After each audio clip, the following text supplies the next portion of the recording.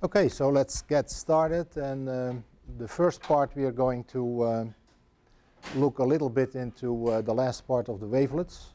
And then we're going to move over to the nonlinear systems. One of the things uh, why wavelets are so uh, useful is the following. Suppose that you do a uh, frequency analysis and let's say that uh, you have an you have an epoch of uh, 10 seconds. And let's say that we have a sample rate, which, would, which I will abbreviate to uh, SR, of 1,000 uh, uh, samples per second, or which I will call 1,000 hertz now. and let us assume that we have, which is a little bit violating the uh, um, the idea of a Fourier transform of stationarity, let's say that we have a burst of uh, a wave here and there. And that uh, wave is uh, 30.01 hertz. Now if I do an, uh, a Fourier transform of this uh, whole thing, I will get a uh, power spectrum that has a resolution of 1 over 10, so 1 tenth of a hertz. And I'm going to kind of have the power spectrum up to the Nyquist frequency, so up to 500 hertz.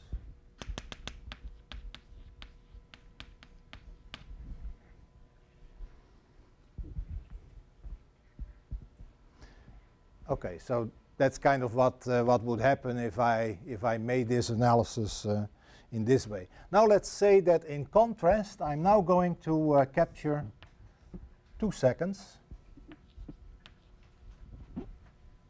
And I'm capturing again this uh, frequency.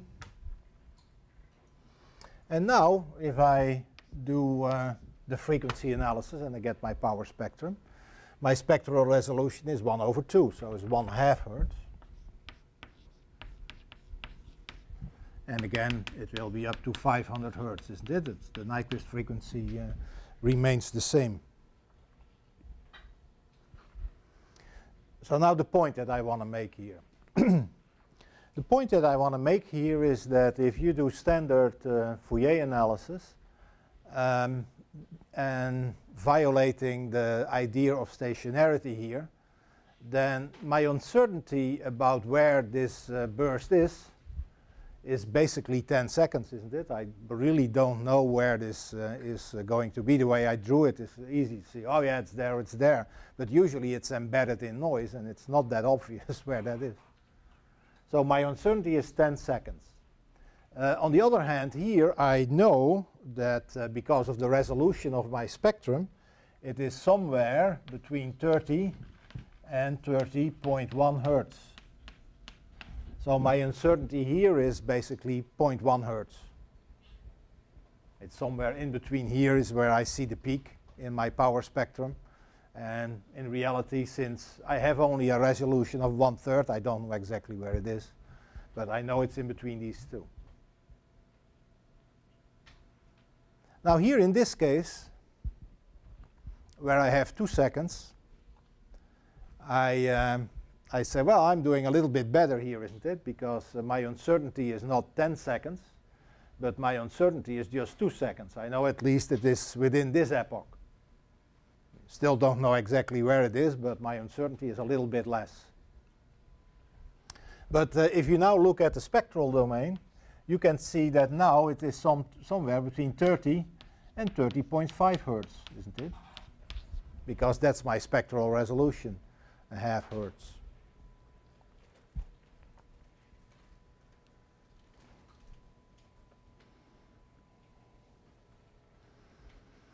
And this actually uh, is a pretty deep uh, observation because it goes back to the Heisenberg uh, principle of uncertainty. We really don't know where things are. And you can see there is some kind of an uh, preservation of uncertainty because if I'm really very uncertain here, I'm a little more certain here. If I'm a little more certain there, in contrast, I am more uncertain here. And so um, there is uh, certainty in the time domain, basically translates in a little bit more uncertainty in the frequency domain, and vice versa. It actually is an, uh, a figure in the, in the book, figure 16.3, that uh, reflects that. I'm going to hold that up.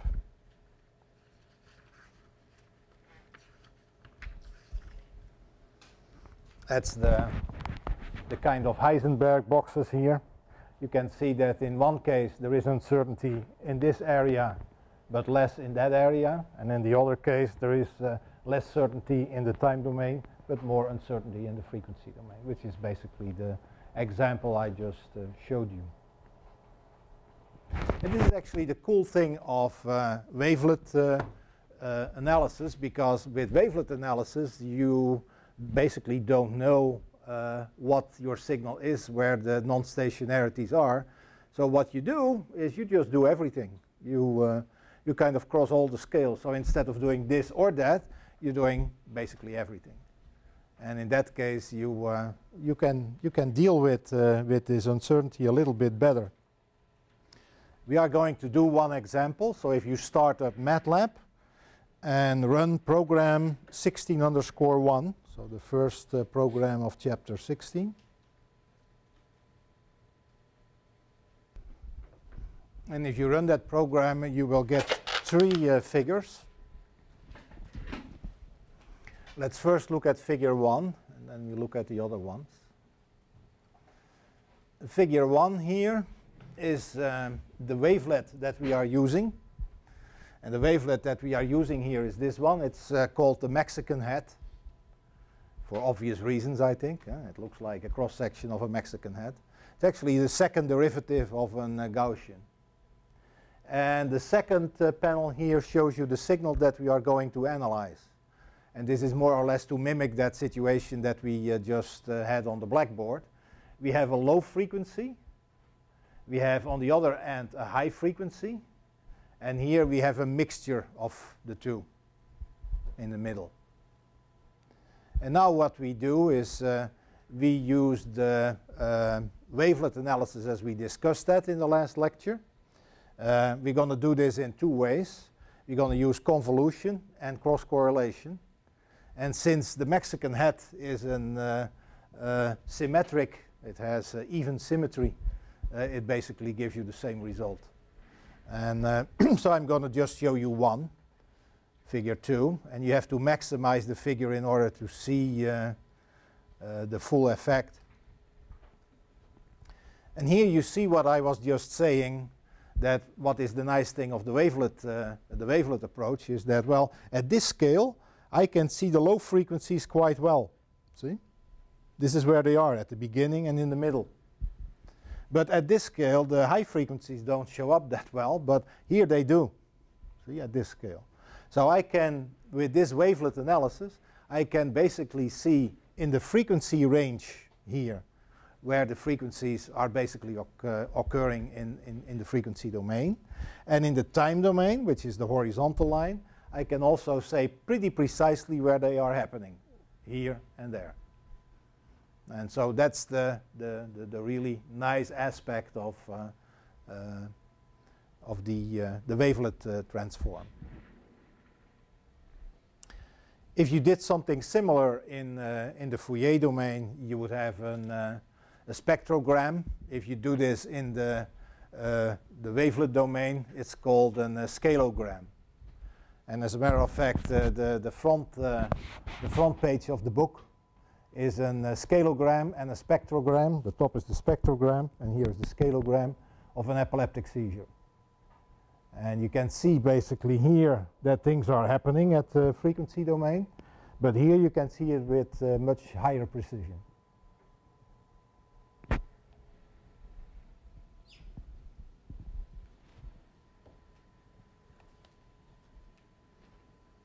Now, the last example that I uh, wanted to show, we're going to stay in MATLAB, uh, is that there is in MATLAB an um, a uh, wave menu that you can use to uh, use wavelet analysis. And it's actually pretty nice. Uh, you can use the menu or you can also use the subroutines, yes?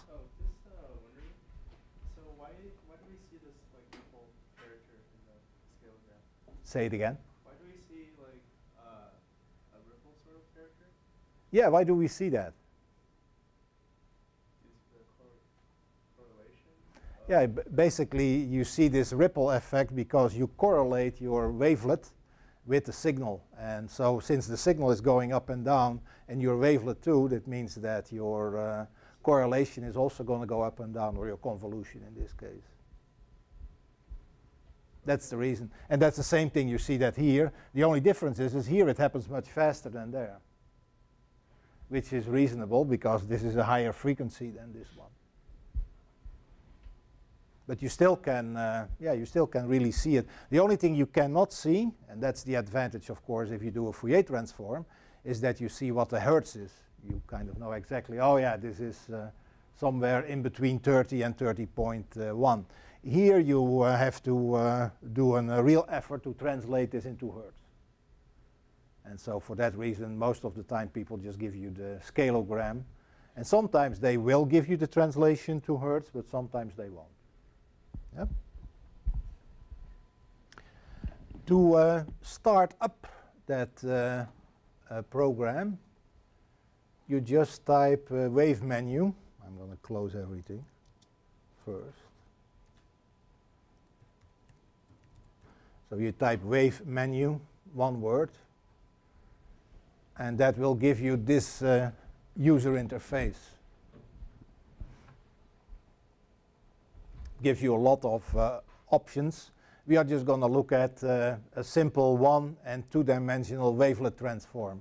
But you can also see there is a wavelet packet transform there, and there is much more stuff that you can do. Uh, so if you have a signal that you have recorded in your research, you can always go to this wavelet menu and, uh, and do a quick, uh, a quick analysis. Uh.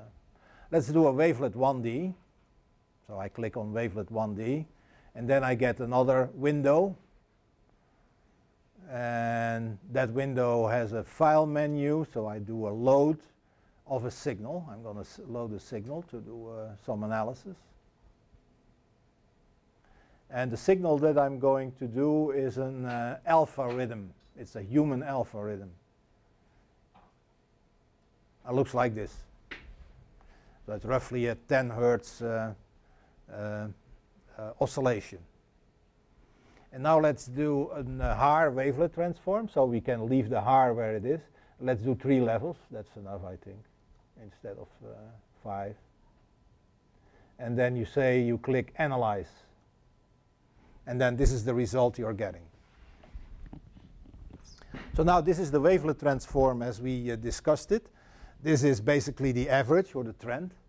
And this is the first and the second and the third difference. This is the third, the second, and the, and the first. And you can see that uh, basically in the average you have uh, captured quite a bit of your, uh, your signal. But uh, it's definitely not everything because your differences uh, are also uh, significant. What would be your prediction if we changed the Haar wavelet, in this case, to the Daubechies one, which was the other one we looked at? Would we be better or worse in uh, capturing this signal in the trend? Better. Better, yeah. Because the Daubechies wavelet is a little more continuous signal eh, as opposed to the Haar wavelet. Oh, let's do that. Let's kind of click on the wavelet and dB is Daubechies. And the one that we used was the number 4.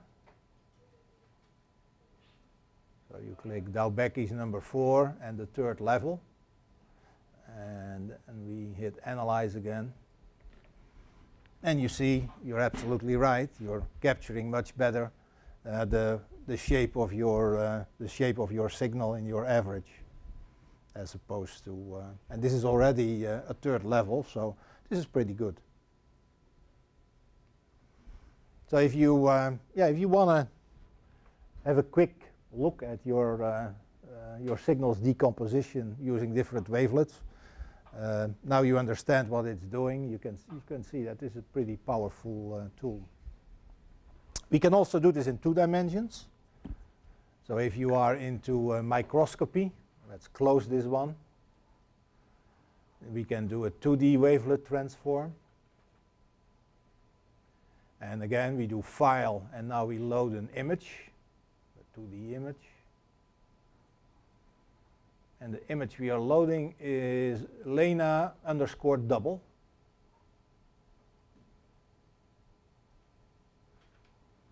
And uh, you can just say yes to the question.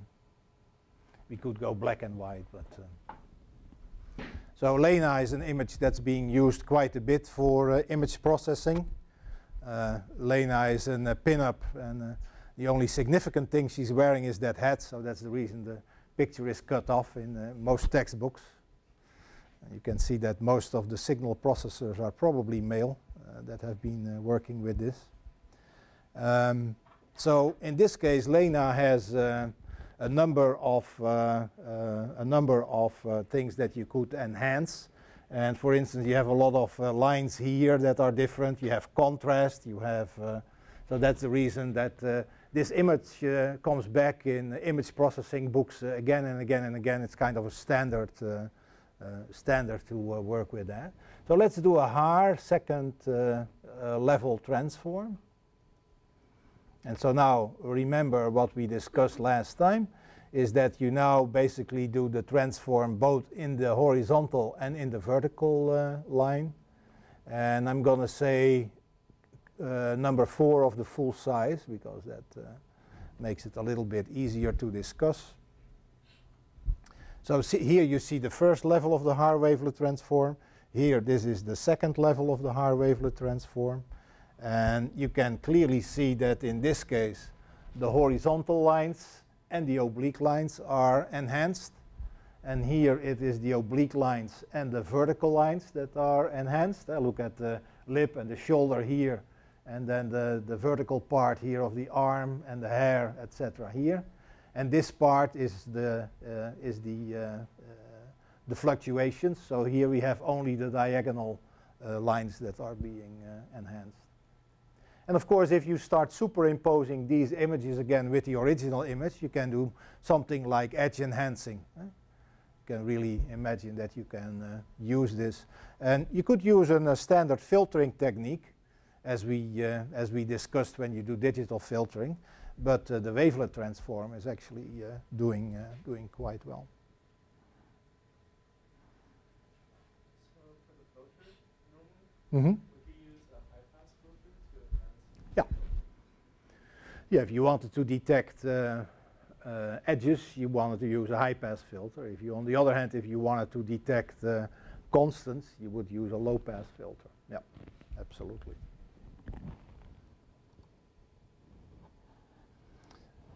So that concludes the part on um, on wavelets, and uh, with the wavelets we have abandoned uh, the idea that all our signals are uh, stationary. Right now, we are also going to abandon the idea that all our signals are linear. And uh, most of the stuff that uh, we are going to discuss on nonlinear systems, today we are going to discuss a little bit that is described in chapter 17 of the first book but uh, the rest of the stuff uh, is going to be in, uh, and I'm going to use lowercase here to distinguish the two books. It's going to be in chapters 2, 3, and 4. I probably will not have enough time to get to the higher chapters in that uh, book, and that's going to be in the uh, in the other book, uh, the the one on the companion volume, and that's about nonlinear processes. Also, if I give you homework, uh, I'm going to say uh, uh, homework of lowercase chapter 2. You have to go back, you have to go through in your exercises because that's kind of after all the homework assignments in, for the first book. So, nonlinear systems. What are nonlinear systems? You actually already know that. Any uh, system that violates uh, superposition and scaling is, uh, is nonlinear. And um, if you, uh, if you, for instance, uh, and we, we discussed that also for linear systems, uh, you can have static and dynamic systems.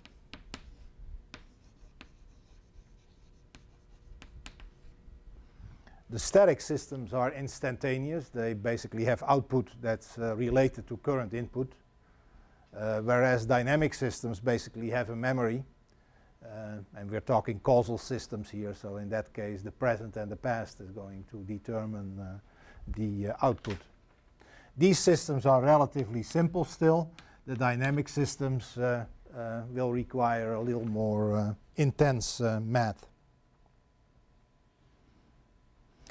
Um, I'm going to uh, ask you to uh, read the part on uh, static systems for yourself. Uh, one of the things that, uh, that you can use to uh, characterize static systems are Taylor series or Maclaurin series.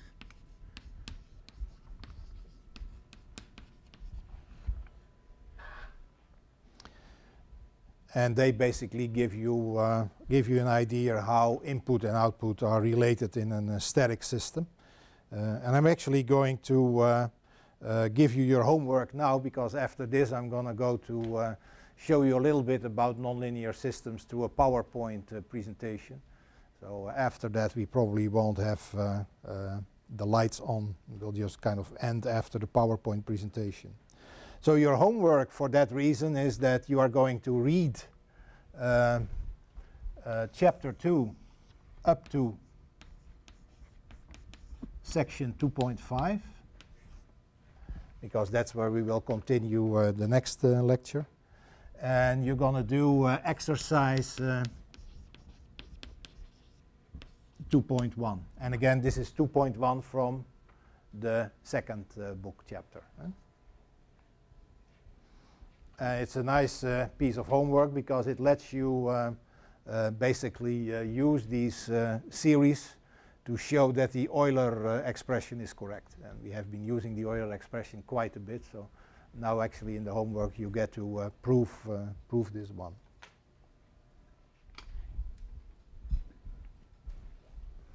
So I'm going to talk about these nonlinear systems uh, actually in the context of uh, some of uh, the research that has been going on in, in epilepsy, um, especially predicting of occurrence of seizures, which of course is a big deal in epilepsy because if you, you are kind of uh, you don't know when you're going to get a seizure, that uh, that's kind of uh, fairly inconvenient in your daily life. And in research, actually, you also would like to know when seizures are imminent because you could basically look very early and see maybe some of and understand a little bit better of the uh, ongoing processes. Um, usually the seizures are recorded, that's still the gold standard using the electroencephalogram or EEG. We discussed that in one of the first lectures and this is actually a diagram of the standard uh, uh, recording systems for EEG, the 1020 system that allows people to internationally uh, communicate with each other. There are roughly uh, between 40 and 50 types of uh, clinical seizures. There are, I mean, the, the, the most well-known types uh, and, uh, and, and uh, large group of seizures are generalized. It means that the, brain, the brain basically starts a seizure at multiple locations almost at the same time. It's generalized. And the most well-known one is the tonic-clonic one, where uh, there is a tonic and a clonic phase that uh, alternate. Uh, the other type is the, oh, by the way, this is how a seizure like that looks. You have multiple channels. This is an EEG, just recorded on the scalp. You see the EEG ongoing, and at this point in time, all the leads basically start to uh, oscillate uh, violently and that's when the, the clinical seizure also, uh, also starts. The other seizure type, uh, big, big group of seizure types is not involving uh, the, the whole brain but just one part of the brain, one half of the brain uh, by definition. Uh, and here is an example of one that starts in the hippocampus um, and then from there it, uh, it spreads to other areas in the brain. These are called partial seizures. Um, they can have secondary generalizations, but uh, in this particular example, it shows one that uh, does not. And there are basically two types, uh, two, two groups again. The complex partial seizure, where consciousness is lost and uh, the simple one, the simple partial seizure, where the patient uh, does not uh, lose consciousness.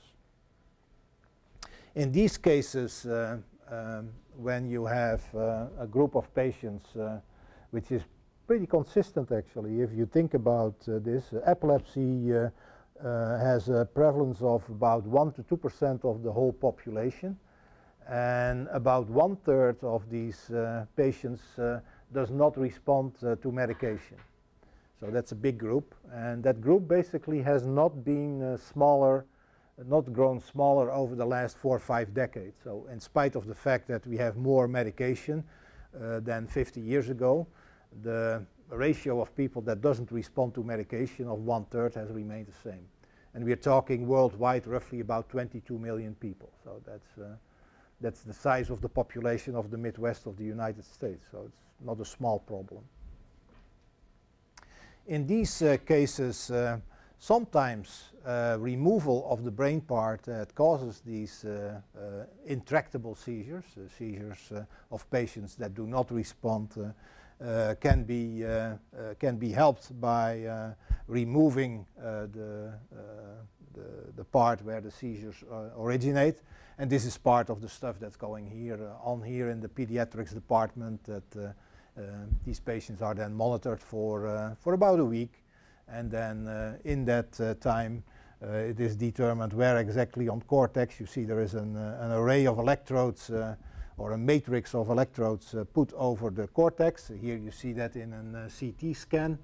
Um, and that allows us to uh, determine with about, about millimeter precision, millimeter to centimeter precision, where these seizures do occur. And that again is then an indication for the surgeon where uh, pieces can be removed. Of course, under the condition that these pieces can be removed safely, that it's not part of the cortex that uh, has an important uh, function, such as language. Or this, of course, uh, generates an, a wealth of, uh, uh, of information that we also can use for further research. And I'll show you a couple of these partial seizures as recorded with these uh, intracranial electrodes. Uh, here you see a uh, seizure, and you probably would have a hard time telling me where the seizure is. And uh, I actually know where it is, of course. Uh, uh, you can see it actually occurring on this channel here. and so you would think that this is a minor, a minor event if you looked at it at the electrical signal. As a matter of fact, the patient uh, uh, was not at all an, uh, a non-serious case. It was a very serious case. So you cannot always see by the electrical activity what the clinical implications are. Uh, this is another example where it's really easier to see where the seizure starts. It's somewhere here, and then you can see it spread to other electrodes. It, uh, it remains still uh, contained in, an, in a smaller area, but you can see it really spread. And in this case, of course, uh, uh, it's, it's obvious that the, uh, uh, that the epileptologist will tell the surgeon, well, these areas that, that, that start a seizure are, of course, the first candidates for, for surgical resection. So now let's get back to prediction. So what you would like um, if you uh, if you were able to uh, predict when a seizure occurs is that you uh, could say something in this area. Here is where the seizure starts. Something is happening here that you would like to detect or recognize and say, well, really now a seizure is imminent and I should warn the patient or I should start using medication or uh, as if you are a researcher, I should really look carefully what's going on in that area. Well, predictability is, uh, is a difficult thing in general. And uh, Niels Bohr uh, actually mentioned that. Well, it's very difficult to predict, especially the future. And that's absolutely true because sometimes if you want to play as if you can predict, it seems like you're doing a good job, but then when you really put it to the test, um, it, uh, it always appears to be very difficult. If you had a simple system such as a pendulum, it's doable. If you have a pendulum and that thing has an, uh, I, I measure the period of that pendulum, I can pretty much predict uh, uh, where that uh, pendulum is going to be in a minute, in two minutes, in five minutes, and if there is not too much friction or I can quantify the friction maybe within an hour. Huh? So that's, uh, yeah, you could say it's a deterministic system, isn't it? Uh, the, the, the present and the past are going to determine the future. And uh, with that pendulum, it's okay. So would that mean that uh, if I have a deterministic system that I can predict the future? Nope. Because uh, we all know that uh, the weather is, uh, is clearly uh, composed of deterministic uh, components. it's molecules, it's, it's airflow, it's, it's all stuff that you could in principle quantify. But uh, uh, as a matter of fact, you know that uh, predicting the weather is, is, is certainly not always easy. And so the fact that you have a deterministic system does not implicate that uh, you can actually uh, predict what is uh, going to happen. You could say, well, but that's because this is a simple system and this is a complex system. And this is just hard to predict because it's so complex. It's not true either. Because if you think about the tides, uh, they are actually pretty easy and pretty well predictable. The, the tide uh, tables are uh, predicting uh, months and months ahead uh, what the tides are going to be, and they're pretty good. And if you think about the complexity of predicting the tides, I mean, the exact uh, um, front line of the, the coast, uh, uh, the weather, the, the position of the moon, and there is, there is lots of stuff going into this, into this generator for tides, so it's a complex system. But nonetheless, it's, it's pretty predictable, just as that pendulum was pretty predictable. So complexity and determinism or simplicity is really not, uh, not it. You can see that in these systems uh, there is a sort of randomness uh, and let's go back to an even simpler system than the weather. It's, uh, it's the lotto. If you have uh, 36 or 40 of these little balls bouncing around, you would say that if you are a physicist uh, knowing about uh, uh, collision and elasticity and things like that, you should be able to predict what's going on. And we all know that's not really the case uh, because there is a lot of randomness in this, in this outcome of, of these lotto results. So what's the take-home message here? The take-home message here is that uh, uh, if you have a deterministic system, and if we believe that our brain is uh, a deterministic system, it still does not uh, mean that it will be predictable. It depends really on, uh, on a number of things. And uh, um, in this case, for instance, the weather, we also know that there is a horizon over which predictions are reasonable. And beyond that horizon, let's say nowadays it's about three or four days or maybe a week if you're an optimist. Uh, but beyond a week, it's very difficult to predict what the weather is going to be. So beyond that horizon, it's really, uh, it's really very difficult. And uh, in that sense, uh, these systems can uh, really start to behave as an, uh, as an, a system that generates random numbers. That's, so that's important to, to realize. And it's really important to realize that um, very simple systems can have very complex behavior. And in the book, in chapter 17, uh, we have an, uh, uh, we have an, uh, an example uh, where we use uh, the logistic equation. This is the equation. And as you can see, it's nonlinear because there is a quadratic term in there. And if you, if you put a parameter such uh, that uh, the behavior is simple, you can get this system to behave as, okay, it's going to go to an equilibrium and stay there forever. Or it's going to oscillate between two extreme points, which is also like the pendulum, still pretty predictable.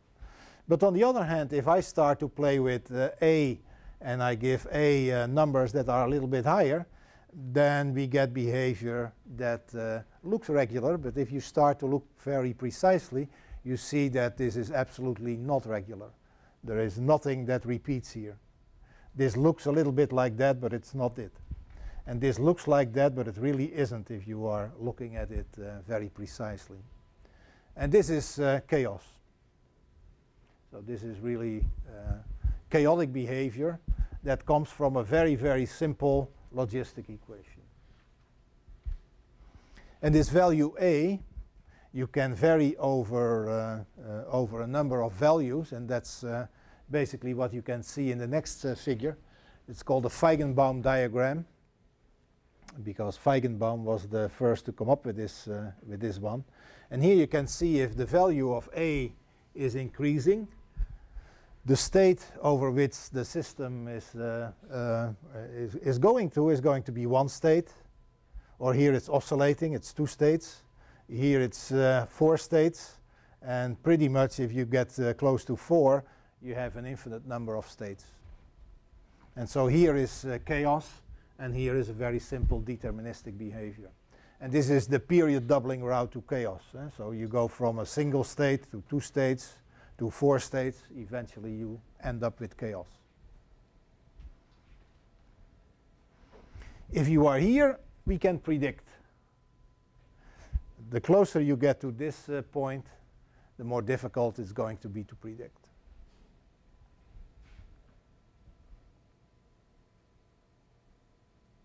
So let's get back to our idea that we would be able to predict the occurrence of a seizure what we had said is we would like uh, to be able to, when the seizure starts here, let me say we start here uh, with uh, the seizure, which is also called the uh, ictal period, then we would like to be able to extract something from this signal that uh, gives us a warning crossing some kind of a threshold before the seizure really starts. So this is kind of our wish list.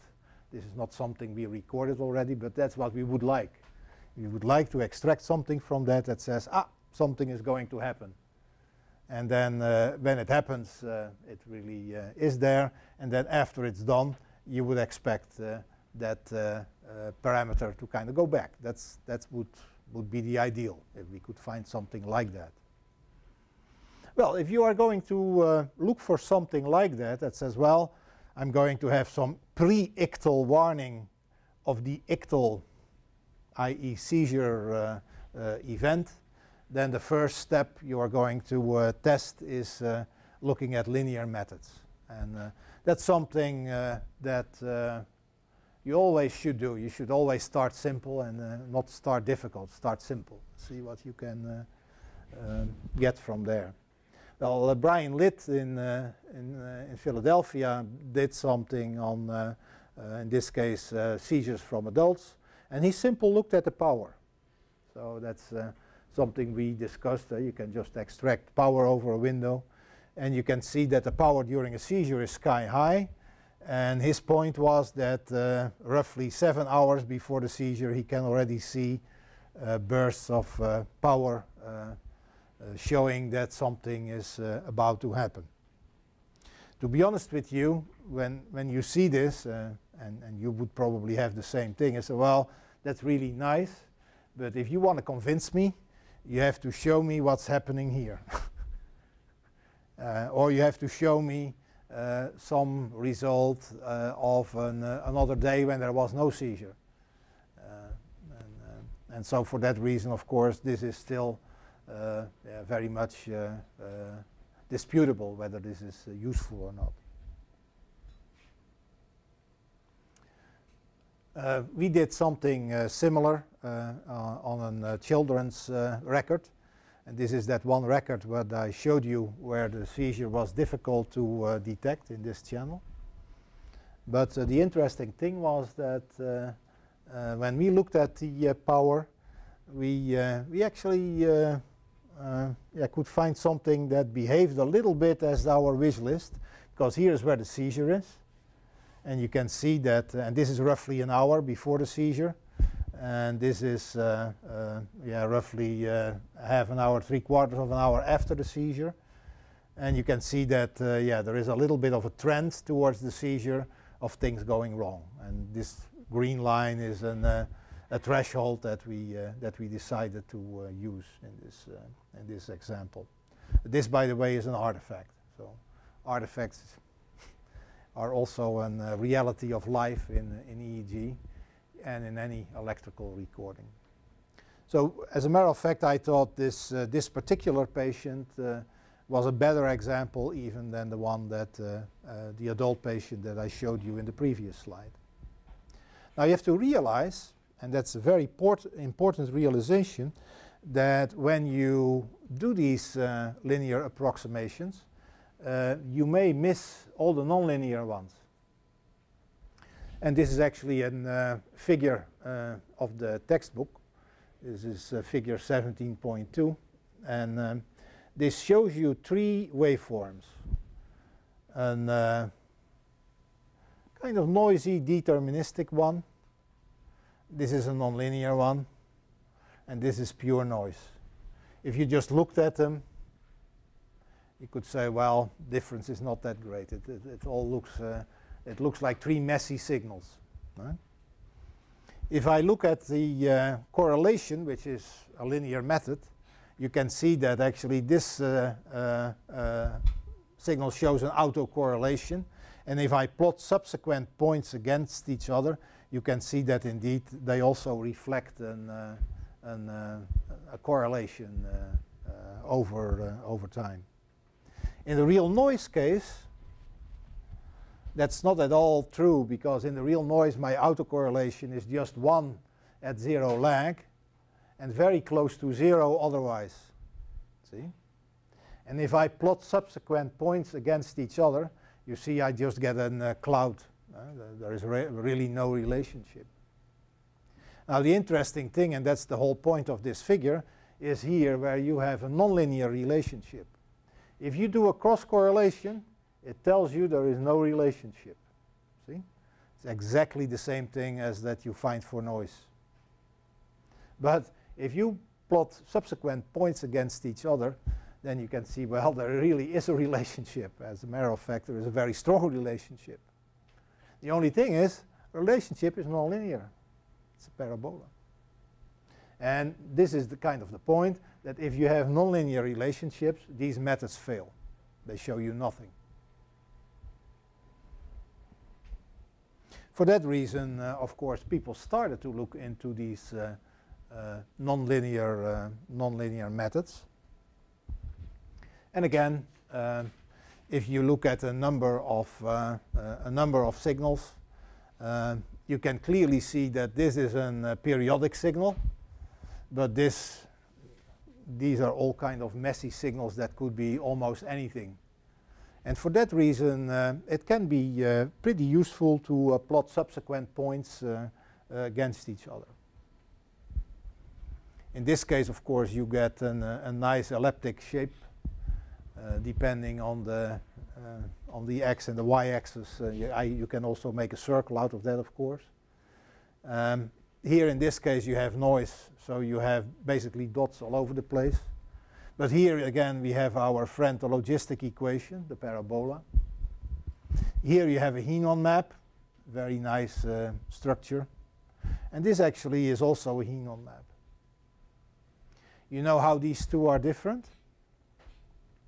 This one starts at an initial condition, and this one starts at an initial condition plus I forgot the exact number, I think it was uh, 0.0001. So almost the same initial condition, but not exactly. And you see they look very similar. If you embed them, they're both showing you the same structure. The interesting thing is this. When you subtract the two, you get this. Which is kind of showing you why there is a horizon where you can predict. Because initially, the difference is not much Initially, the first point, the difference is 0.0001. Then the next point is a little bit more different. The next point is a little bit more different. But once we are here, the difference is enormous. And so here you can see why you are going to easily fail to predict in a nonlinear system. Because in a nonlinear system, little changes, eh, butterfly effect it's called, uh, little changes in the initial condition can actually cause a really huge uh, effect in these, uh, in these chaotic systems. And so you can predict over a very small, uh, up, up to a very small horizon, and then after that, it's, it's done. So the question is a little bit in, in, in, in, seizures and in our brain situation. Um, are we dealing with a strong nonlinearity like this, then we might have a shot at uh, predicting it, uh, providing that the horizon is, uh, is reasonably practically uh, usable.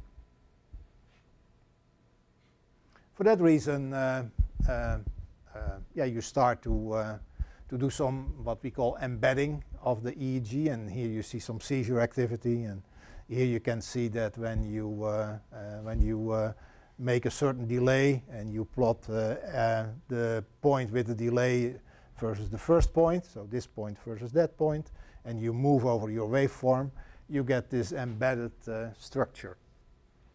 And this structure tells you something about the uh, ongoing process, about the underlying process. And so you would like to characterize this uh, structure. And there are a couple of ways of doing that. First of all, there are um, two ways to capture where the points are. So in this case, you could say, well, in this uh, particular uh, example, I have a number of points. So here is, uh, uh it's, it's drawn as a line, but it's really a number of uh, particular points. So where are these points? How are they distributed over uh, space? And that gives rise to a dimension characteristic. The capacity dimension, correlation dimension are two flavors of uh, a dimension metric. And the other thing is you can try to uh, uh describe the flow in this, uh, in this space, uh, in this spatial um, structure. And one of them is the Lyapunov exponent, and the other one, for instance, is the Kolmogorov entropy.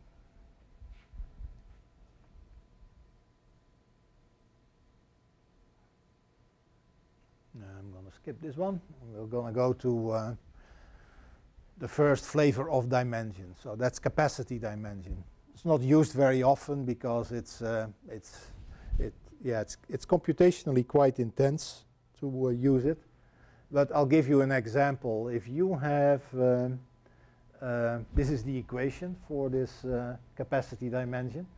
And let's say that in this case we set the value epsilon of the box uh, to one tenth. That means that if I have a dimension here, uh, uh, one dimension from 0 to 1, and I put uh, one tenth here, I will get 10 boxes, isn't it?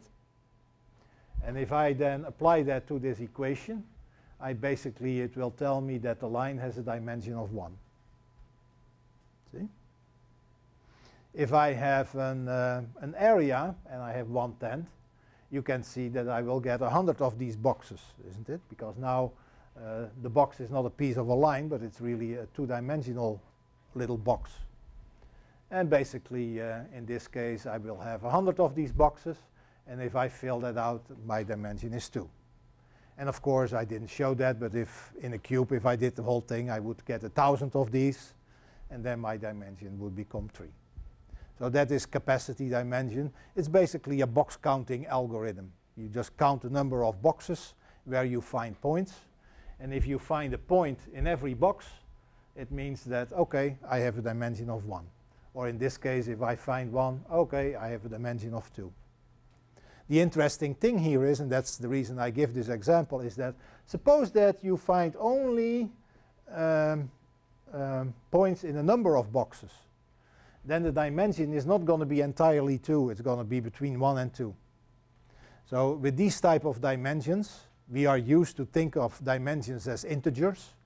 These type of dimensions can actually be non-integer. So uh, you can have a capacity dimension of 2.1. That means that's a cube where not every box of the cube is visited by the trajectory. That's basically what that means. Correlation dimension is another flavor of dimension. And uh, that looks at uh, the number of pairs. You just randomly pick some, uh, uh, some pairs and you can see that uh, if, you, uh, if you have an approximately one dimensional process and you take a little radius around a point and you count number of pairs, you will see that the number of pairs that you count is going to be relative and proportional to the radius. Whereas if your points are distributed over uh, uh, a two-dimensional space, oops,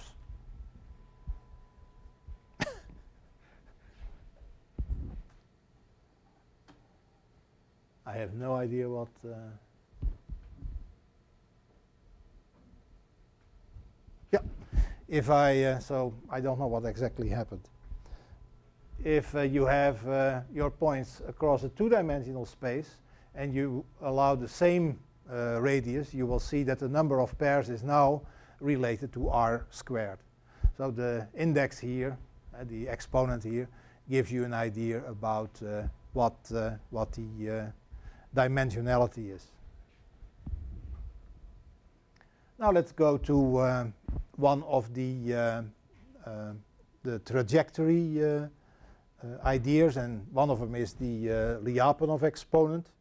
In this case, you take in the trajectory, you just pick a piece of trajectory, and let's say that we pick this piece of a trajectory, and then we are looking at the close by trajectory in the same, uh, um, yeah, basically in the same embedded uh, uh, signal. And now we start to uh, look at uh, uh, the evolution of that trajectory. And we just see, okay, is there divergence here?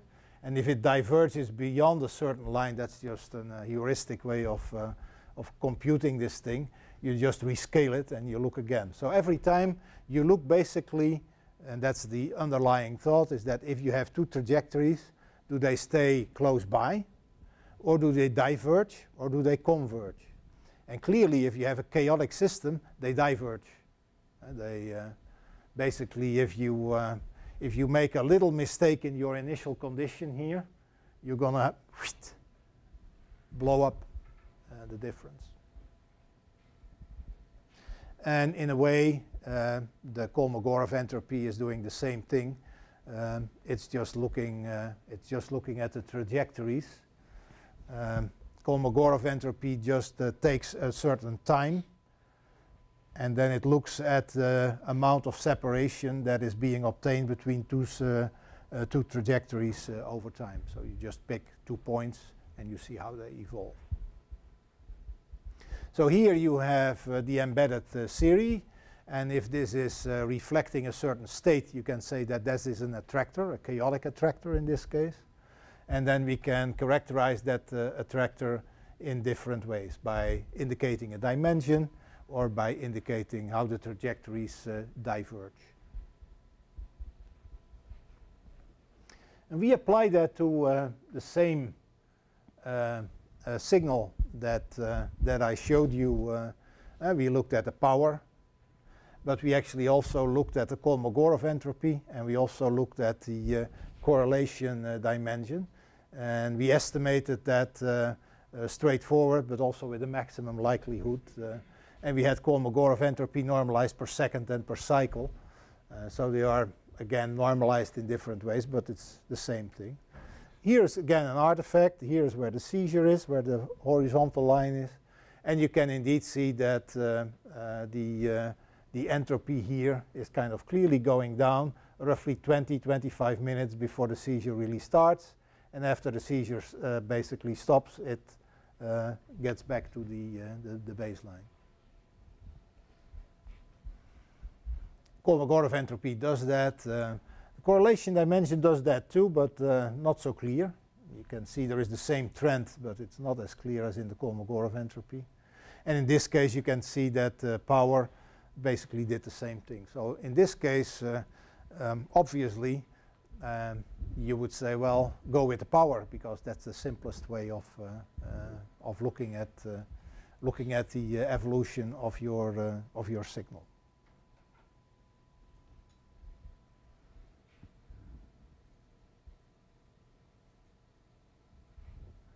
Now, this was one case we, uh, we looked at. Uh, in this case, we looked at, or in this study, we looked at five uh, cases. And it was very uh, remarkable that uh, um, the power was doing uh, quite well along a number of patients. the Kolmogorov entropy was basically working in, in two patients. so we could not really come to the conclusion that there was a generic way of, uh, of, of, predicting uh, these seizures, although in, uh, in three of the five patients we, uh, we, had, uh, we had basically uh, some, limited, some limited success. It makes, it makes basically what the statement of predicting of the future is difficult, uh, absolutely true. Uh, this is uh, indicating a lot of work that was done in the 90s and in the early 2000s. Um, and you can clearly see that uh, uh, there is a uh, wide variety of horizons that were claimed. we claimed a horizon up to half an hour in some patients. But as you could see, the, that, that first uh, paper from Brian Litt, uh, he basically indicated a horizon of seven hours, so more than an hour. And uh, you can see that uh, there are horizons uh, uh, more or less all over the place.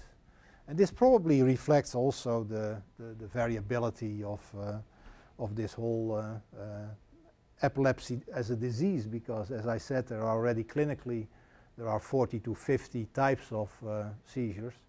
And once you have looked at a lot of seizures, you sometimes think that there are as many types uh, of epilepsy as there are patients, uh, because they basically uh, all look a little bit different. So, where is this going to uh, go? This is the part that I'm going to skip. This is um, part that I would like to discuss, which is that uh, you just saw, and that is what most people did, um, that we looked at a window around the seizure, like an hour before and an hour after. The reason you do that is uh, because it's computationally it's pretty intense. But now we are about a decade uh, later, the computational power has increased a lot, and uh, you can also use parallel computers.